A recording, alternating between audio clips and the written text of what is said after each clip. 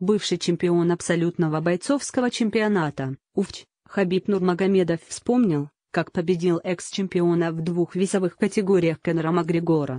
Россиянин победил ирландца в октябре 2018 года, применив болевой прием в четвертом раунде. Нурмагомедов заявил, что, если бы судья Бой Хербдин не вмешался, Макгрегор лишился бы жизни. Представьте, что было бы, если бы там не было Хербадина. Конор погиб бы. Он стучал, но я крепко держал его. Хербудину пришлось отдирать его от меня рывком, приводит слова Нурмагомедова YouTube-канал Ямтыбай.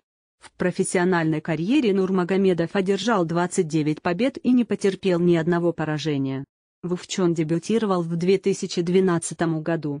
Его рекорд в промоушене – 13-0. В апреле 2018 года Нурмагомедов одержал победу единогласным решением судей над американцем Мелом Яквинтой и стал чемпионом УФЧ в легком весе.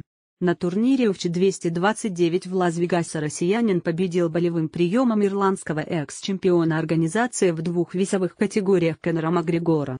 Также ему удалось успешно провести защиту титула в поединке с Пория, победив соперника удушающим приемом.